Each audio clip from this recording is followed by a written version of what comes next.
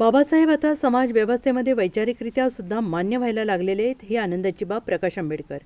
खऱ्या अर्थानं आजपासून लोकशाहीला सुरुवात झाली. चौदा एप्रिल हा डॉक्टर बाबासाहेब आंबेडकरांच्या जयंतीचा दिवस.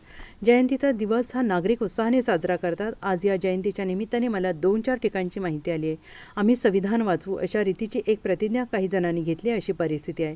मी ही प्रगल्भता मानतो. व्यक्तीबरोबरच बाबासाहेब आता समाज व्यवस्थेमध्ये वैचारिकरित्या सुद्धा मान्य झालेले आहेत. ही माझ्या दृष्टीने आता सर्वात मोठी आनंदाची बाब आहे. बाबासाहेब म्हणाले स्वतःच म्हणाले ज्या दिवशी देशामध्ये व्यक्तिपूजा संपेल त्या दिवशी खऱ्या अर्थानं लोकशाही सुरू होईल आणि त्या लोकशाहीची सुरुवात झाली असं मी मानतो. सर्व भारतीय नागरिकांना परदेशातील नागरिकांना बाबासाहेब आंबेडकरांच्या जयंतीच्या शुभेच्छा देत असल्याचं वंचितचे अध्यक्ष प्रकाश आंबेडकर यांनी सांगितलं आहे. चौदा एप्रिल ही डॉक्टर बाबासाहेब आंबेडकरांच्या जयंतीचा दिवस. जयंतीचा दिवस हा असा उत्साहाने लोक साजरं करतात. आणि आज या असणाऱ्या जयंतीच्या निमित्ताने.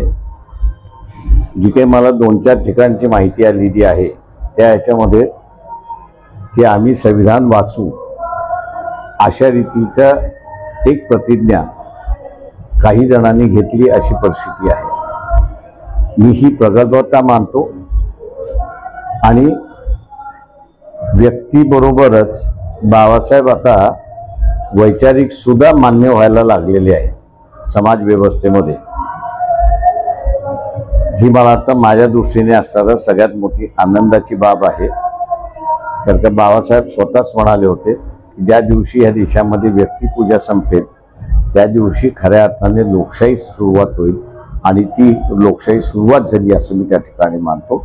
सर्व भारतीय नागरिकांना परदेशातल्या नागरिकांना बाबासाहेब आंबेडकरांच्या जयंतीच्या नि निमित्ताने शुभेच्छा आणि आनंदित दिवस जावो ही अपेक्षा. Bureau report S B N Marathi Akola.